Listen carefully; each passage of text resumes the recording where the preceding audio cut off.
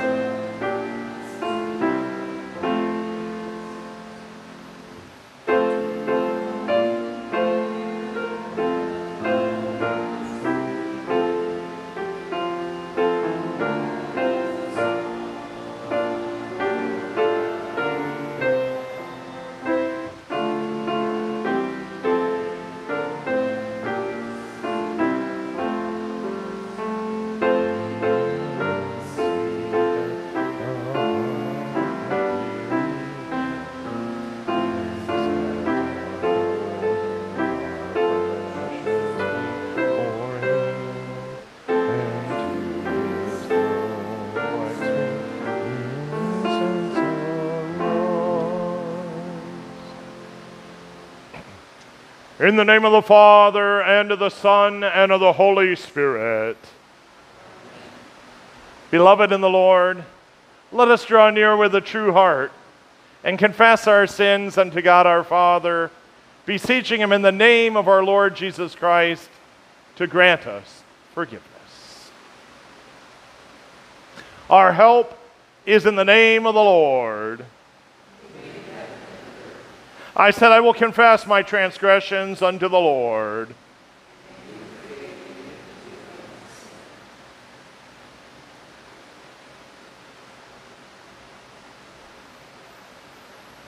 O Almighty God, merciful Father, I, a poor miserable sinner, confess unto you all my sins and iniquities with which I have ever offended you and justly deserve thy temporal and eternal punishment. But I am heartily sorry for them, and sincerely repent of them. And I pray you of your boundless mercy, and for the sake of the holy, innocent, bitter sufferings and death of your beloved Son, Jesus Christ, to be gracious and merciful to me, a poor, sinful being.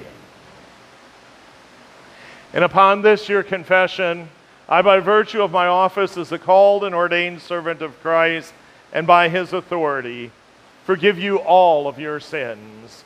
In the name of the Father, and of the Son, and of the Holy Spirit. Then they cried to the Lord in their trouble, and he delivered them from their distress.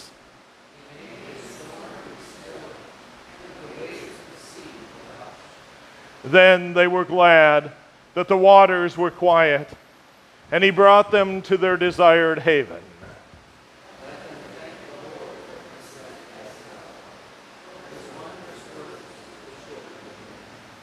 Let them extol him in the congregation of the people and praise him in the assembly of the elders.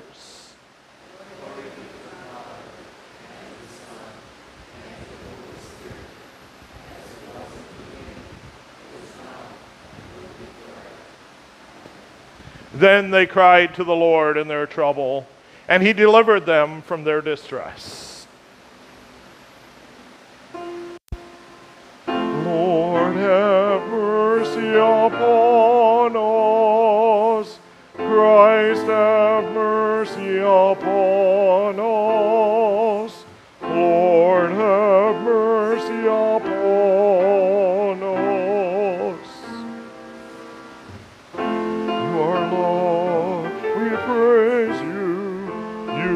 the Lord, we acclaim you. You are the eternal Father. All creation worships you.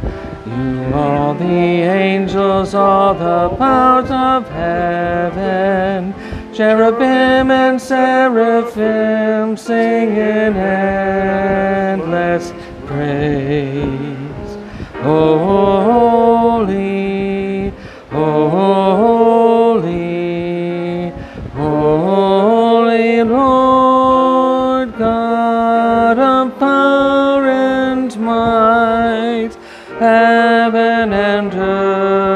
are full of your glory. The glorious company of apostles praise you. The noble fellowship of prophets praise you.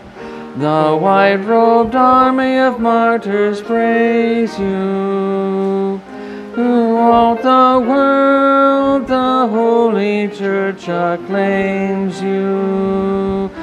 Father of a majesty unbounded, your true and only Son, worthy of all worship, and the Holy Spirit, advocate and guide. You, Christ, are the King of glory, the eternal Son of the Father. When you became man to set us free, you did not spurn the Virgin's womb. You overcame the sting of death and open the kingdom of heaven to all believers. You are seated at God's right hand in the glory. We believe that you will come and be our judge. Come then, Lord, and help your people. Bought with the price of your own blood, and bring us with your saints to glory everlasting.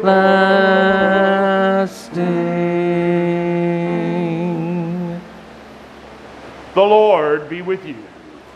And with thy spirit. Let us pray. Almighty God, in your mercy, guide the course of this world so that your church may joyfully serve you in godly peace and quietness. Through Jesus Christ, your Son, our Lord, who lives and reigns with you in the Holy Spirit, one God, now and forever.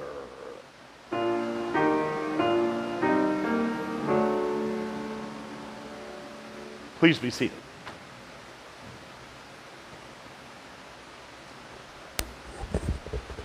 The Old Testament reading for the fourth week of Pentecost is from the book of Job, the 38th chapter. Then the Lord answered Job out of the whirlwind and said, Who is this that darkens counsel by words without knowledge? Dress for action like a man. I will question you, and you make it known to me. Where were you when I laid the foundations of the earth? Tell me if you have understanding. Who determined its measurements?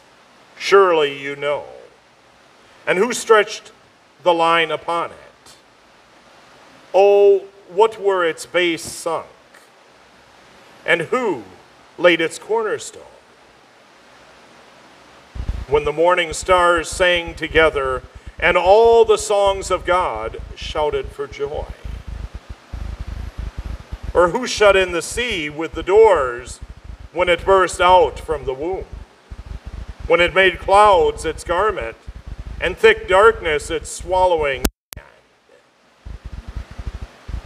and prescribed limits. For it has set bars and doors and said, Thus far shall you come, and no further. And there shall your proud waves be stayed. This is the word of the Lord.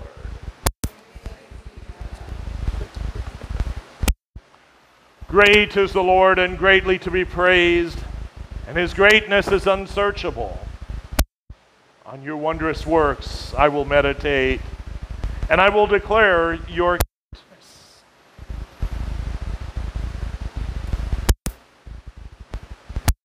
The epistle is from the second letter to the church at Corinth, chapter 6. Working together with him, then, we appeal to you not to receive the grace of God in vain. For he says, In a favorable time I listened to you, and in the day of salvation I have helped you. Behold, now is the favorable time. Behold, now is the day of salvation. We put no obstacle in anyone's way so that no fault may be found within our ministry.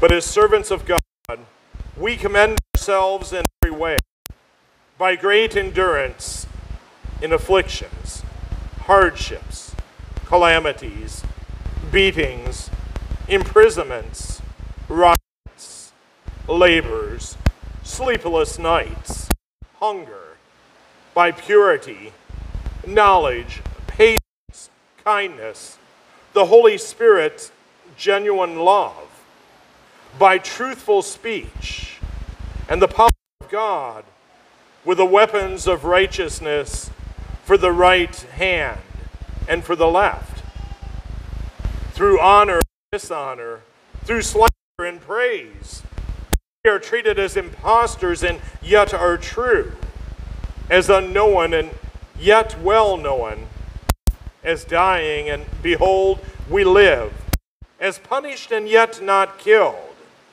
as sorrowful yet always rejoicing, as poor yet making many rich, as having nothing yet possessing everything.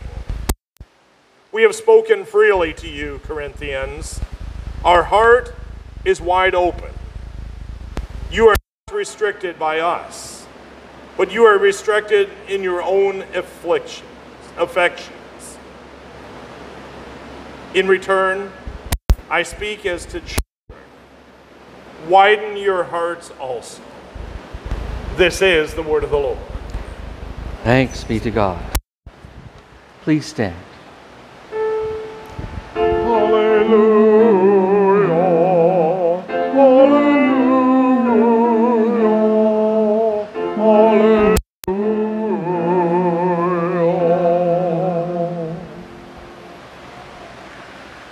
Holy Gospel according to St. Mark, the fourth chapter.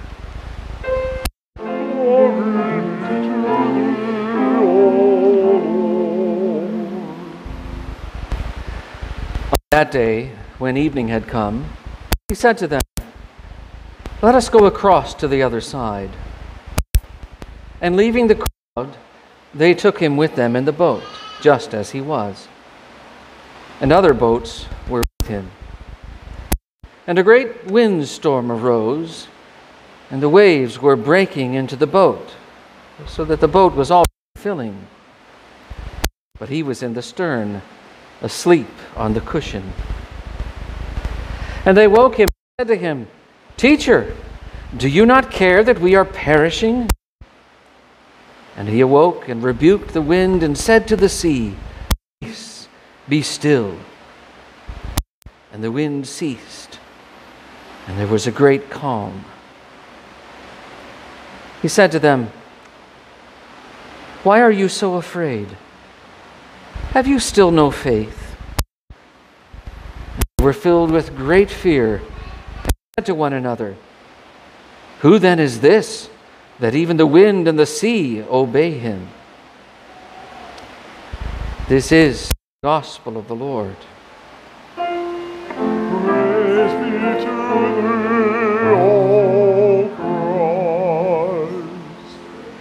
We continue with the Apostles' Creed.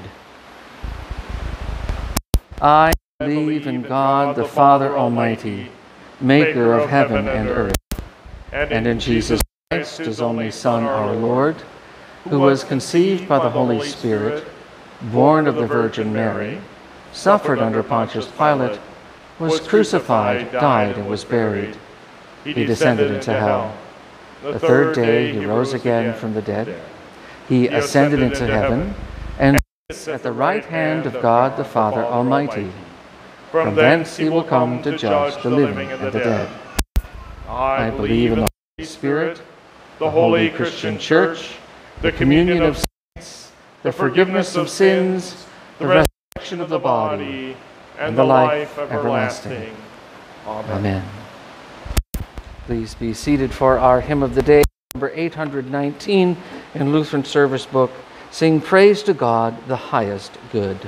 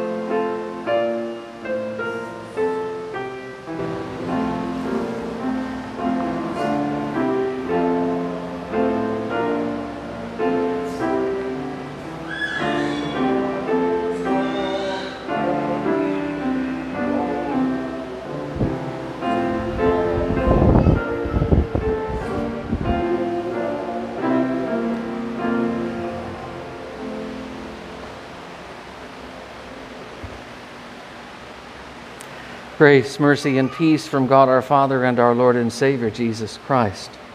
The text for our meditation this afternoon, today's epistle from 2 Corinthians chapter 6. In the name of Jesus, Amen. Luther was opposed to what's known as corporate confession that part of the service in which we all confess our sins together in sort of a, a generic way. We admit that we're sinners in need of forgiveness, but we don't get very specific about what our own particular sins are. We do give ourselves a few seconds of silence to contemplate our sins and lay them at Jesus' feet, but personally, I never find the time allotted to be sufficient. Luther's primary objection to corporate confession was that once the church started doing this, no one would come to private confession anymore. See, it's in private confession that we actually get to take the time to unload the sins that burden our conscience, to confess specific sins, and then to receive a very specific absolution. Lutheran Service Book has made this process far easier than it used to be by including a brief liturgy for the private confession of sins. But I can tell you that Luther was absolutely right in his concerns. For in our day, hardly anybody takes advantage of this opportunity. And that's sad for a number of reasons. For one thing, it's, it's sad because people are missing out on some very expressive, very candid, very revealing words that are spoken in private confession. Words like these I have not let God's love have its way with me, and so my love for others has failed. There is so much truth in that one little phrase. It reflects what Paul says in today's epistle I have been restricted by my own affections. Now, this is not to say that we have no love for God or for one another, but we set limits on our love. We build a, a fence around our affections, which no one, not even ourselves, can climb over. Our love only goes so far. There's only so much we're willing to do for our neighbor, and astonishingly, there's only so much we're willing to do for God. We limit our love that's God's own verdict against us. We are restricted by our own affections. Why do we do this? Because as we confess in the private confession, I have lived as if God did not matter and as if I mattered most. This is more than just doing a few things wrong. This is not losing your temper or speaking harshly when you get frustrated or forgetting to send your father a Father's Day card. This is a fundamental elevating of ourselves to a position of prominence that eclipses even God. How does our preeminent attitude shape the way we live? How does it, how does it influence the way we treat others? For instance, how, how does it affect our generosity? Do we always give sacrificially with joy? Or do we give begrudgingly because, you know, we'll look like a cad if our neighbor can't feed his family? Or, or because the church really needs a roof? and So on and so forth. Are there particular people that we're more willing to help than others? Well, I don't like his politics. Or she's not the right color. Or she got pregnant out of wedlock. Or he's not the right kind of Lutheran. I'm not judging, beloved, because I have some of the same thoughts. But are they good thoughts? I don't think so.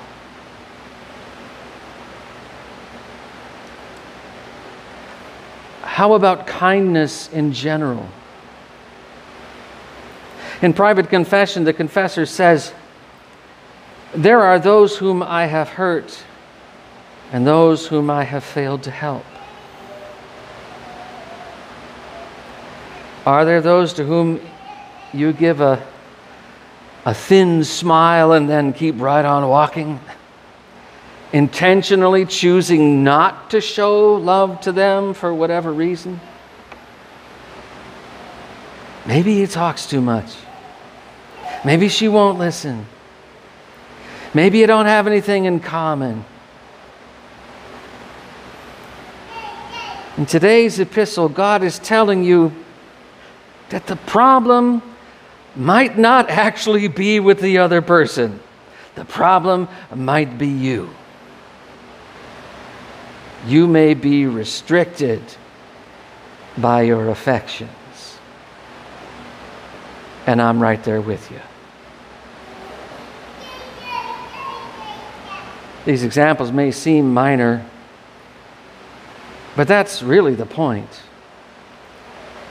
We often think of our sins in, in, large terms. You know, you even hear people say, I'm not that bad a sinner, I never killed anyone.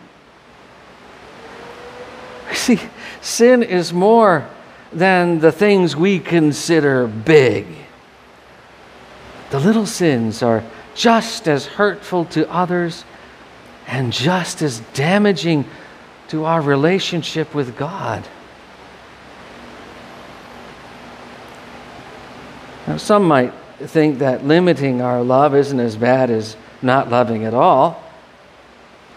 But today's epistle doesn't refer to our complete failure to love, it addresses the calculated limitation we place on our love. You are restricted by your own affections, Paul says. You and I are boxed in, beloved, inhibited, restricted, restrained in our love. What is it that restricts us? Our own interests, our own concerns, the short list of things we actually want to love, which doesn't include God or our neighbor. You see, it all comes back to living as if God didn't matter and as if I mattered most. Yes, it's, it's hard for me to love someone else fully and completely when loving myself requires so much of my time and attention.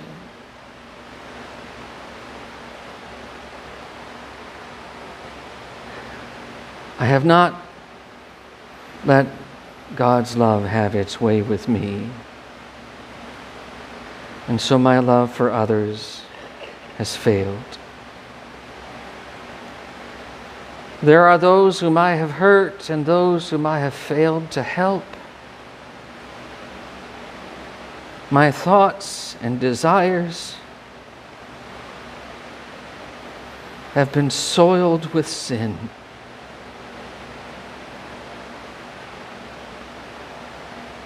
This is not a good place to be, beloved. And God's word through the Apostle Paul further convicts us with the admonition to widen our hearts. He's telling us to tear down our favorite fence. He, he wants us to open the locked gate and make our survival resources available to our neighbor. I don't know about you, but God might as well tell me to sell all that I have and give to the poor. He says, Widen your heart, but mine feels as thick as the walls of Jericho. Good luck breaking down that wall, God. You'd have a better chance rebuking the wind and telling the sea to be still.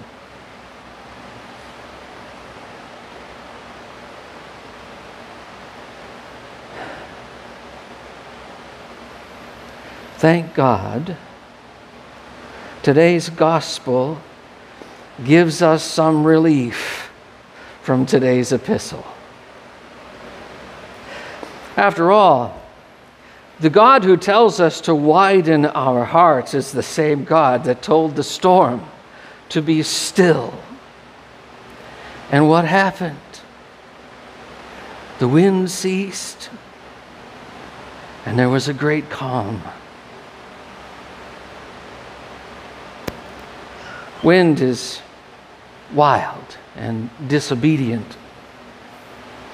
And yet, a single word from Jesus calms it down. I am locked up tight, resolute, and restricted by my own affections. But even the wind and waves obey Jesus. His word has its way with them. If His word softens the obstinate wind, surely it can soften me too. Jesus' word changes the will of the waves. His words have the same power to change your will and mine. You see, when God said to the wind and the waves, Peace, be still, a miracle took place. The miraculous power of God's word calmed the sea. The sea no longer had any reason to rage and foam with its Lord and Creator standing there in its midst. In the same way, God says to you today, widen your hearts and with these words, another miracle takes place. Just as the miraculous power of God's word calmed the sea, so also will it widen your heart. After all, what do you have to fear? Why hide behind the limitation of your affections when your Lord and Creator stands so near. God gave you his infinite and limitless love when Jesus died on the cross. Not only are your sins forgiven, not only has he continued to show his love to you throughout your life, but there's plenty more love and forgiveness where that came from. God's love for you will never run out. His forgiveness will never fade. There's no need for you or me to restrict ourselves by our own affections. God gives you daily bread, beloved. Everything you need to support this body and life. Whatever you give away, He's more than able to replace sevenfold. Whatever you lose, He's more than able to repay. Peace. Be still. Don't be afraid.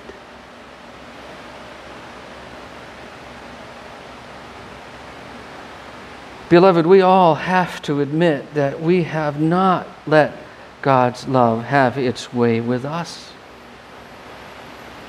And so our love for others has failed.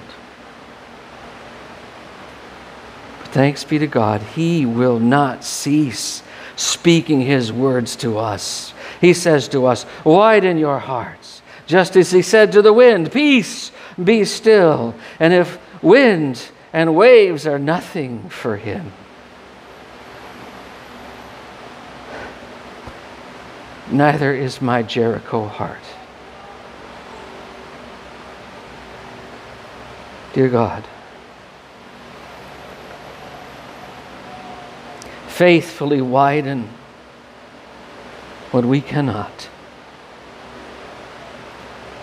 In the name of the Father, and of the Son, and of the Holy Spirit. Amen. Please stand.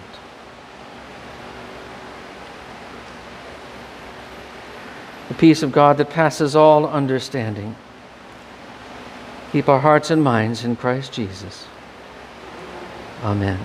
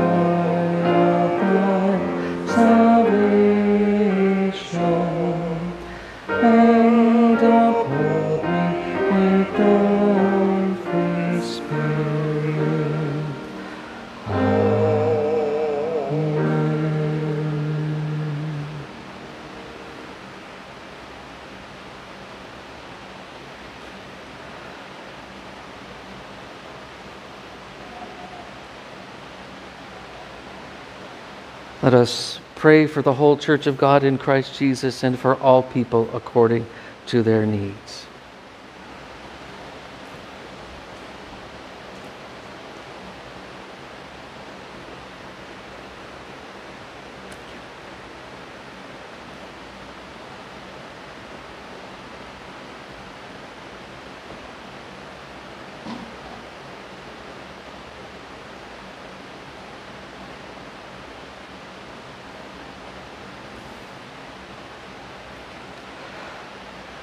God of our salvation, you have ushered in the favorable time and day of salvation through the incarnation of our Lord Jesus Christ.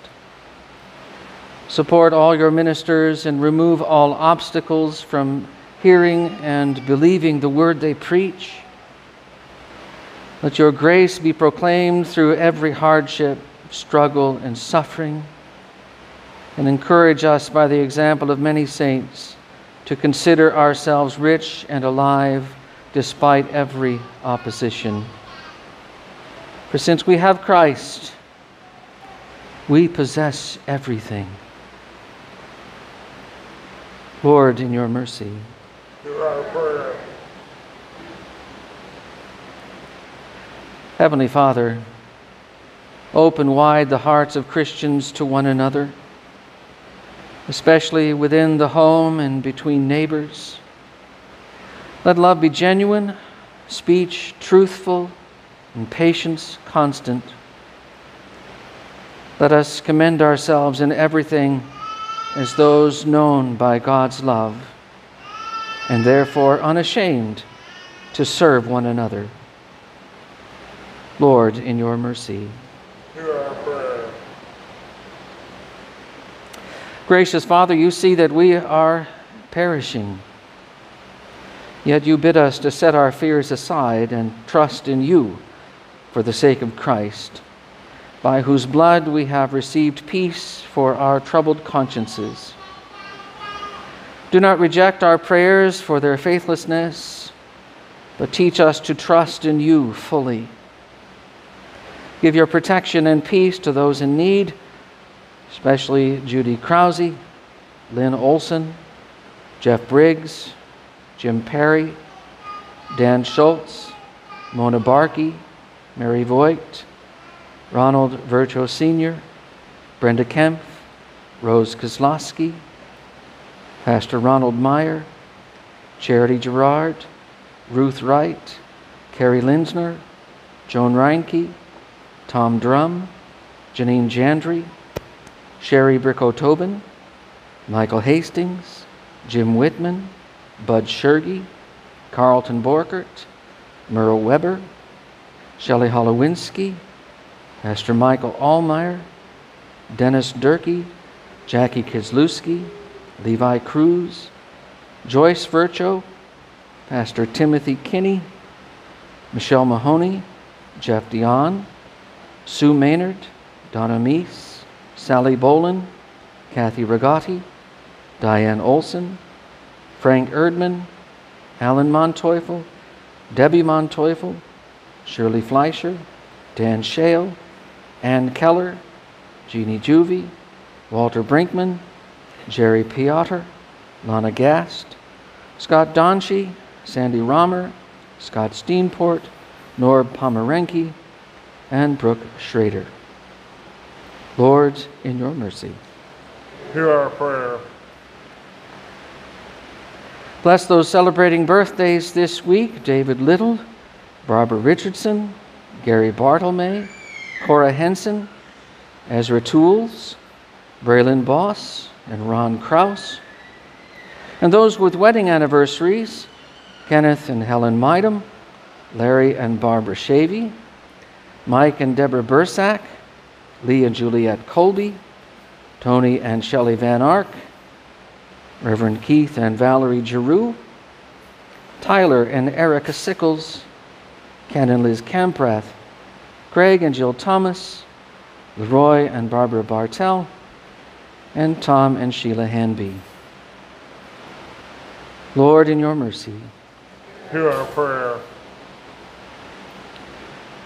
Father in heaven, we ask your blessing upon our earthly fathers.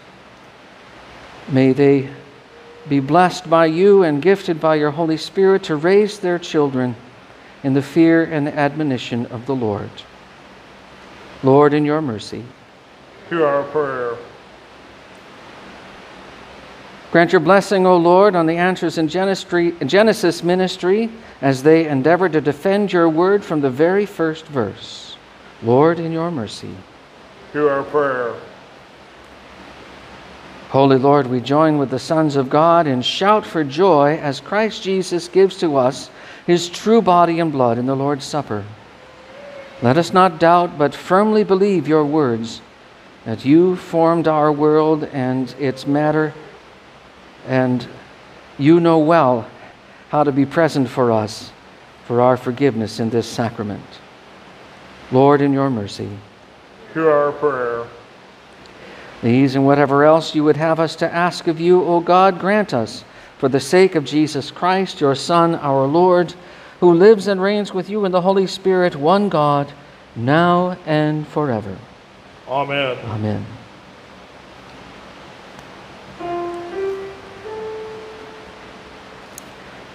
The Lord be with you.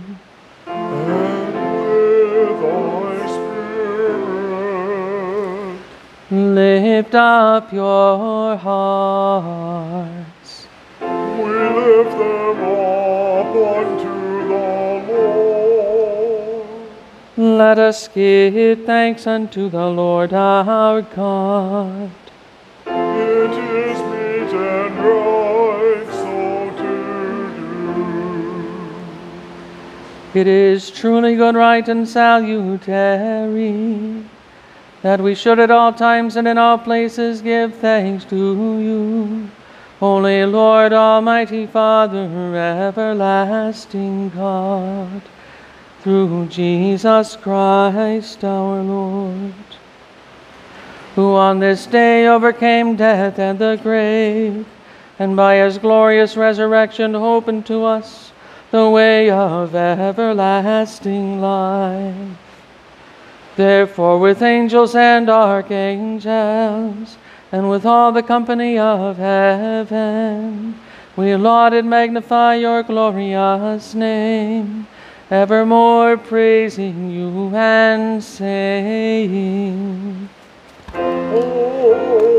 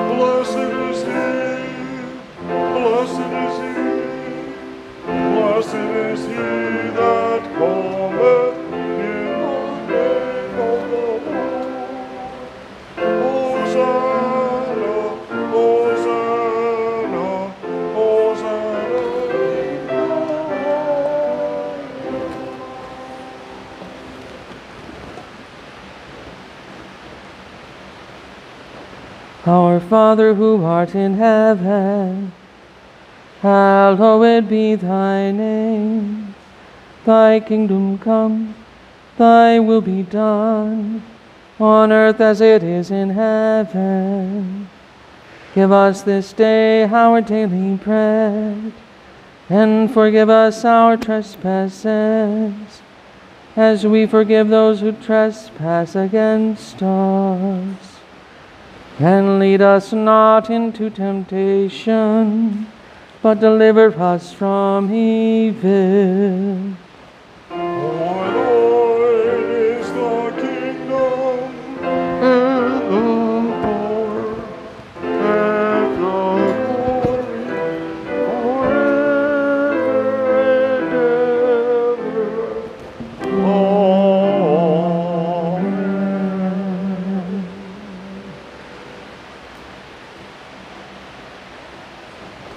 Jesus Christ, on the night when he was betrayed, took bread. And when he had given thanks, he broke it and gave it to the disciples and said, Take, eat, this is my body, which is given for you. This do in remembrance of me. In the same way also, he took the cup after supper, and when he had given thanks, he gave it to them, saying, Drink of it, all of you.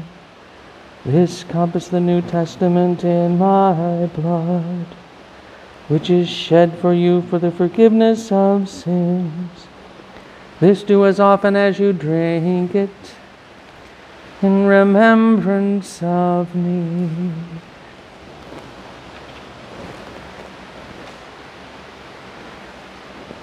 The peace of the Lord be with you always.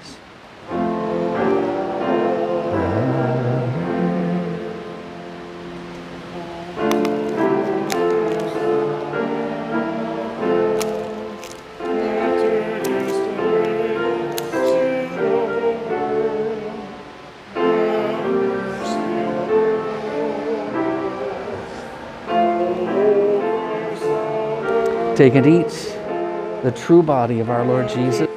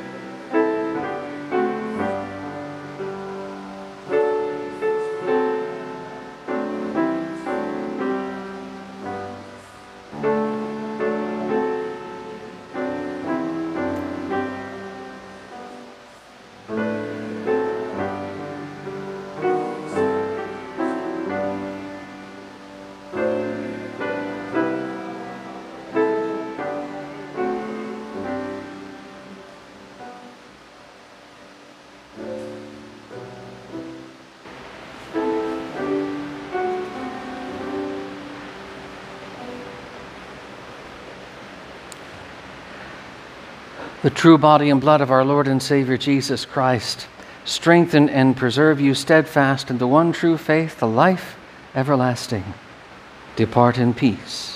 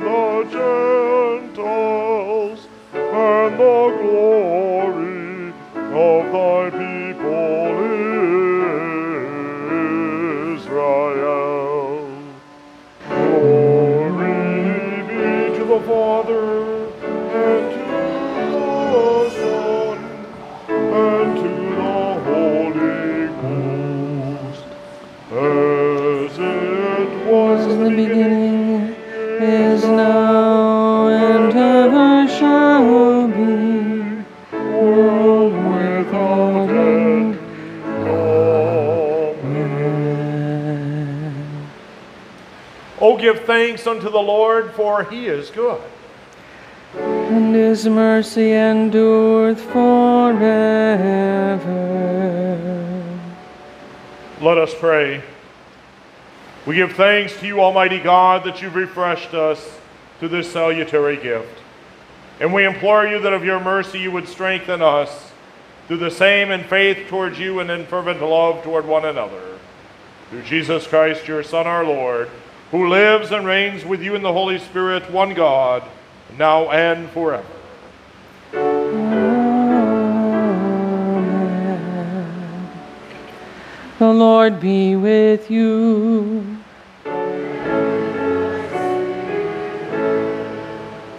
Bless we the Lord. Thanks be to God. The Lord bless you and keep you. The Lord make his face shine upon you and be gracious unto you. The Lord lift up his countenance upon you and give you peace. Amen. Amen. Amen. Please be seated. Happy Father's Day. God bless you and give you uh, great blessings amongst your children and uh, you know those of us who have lived a little bit longer than others, grandchildren.